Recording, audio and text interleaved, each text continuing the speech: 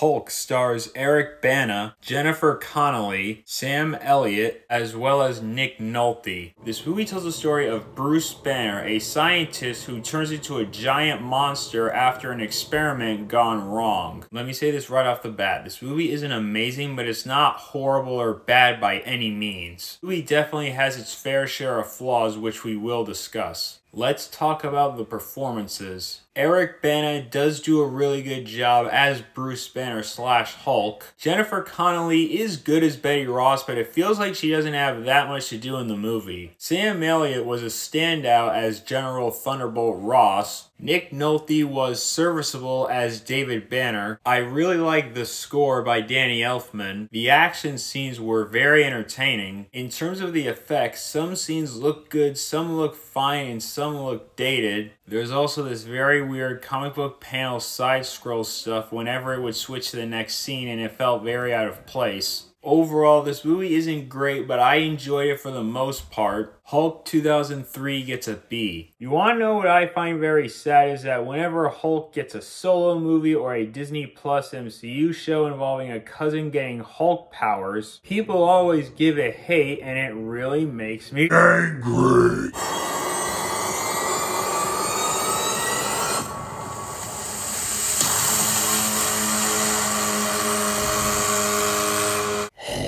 Game.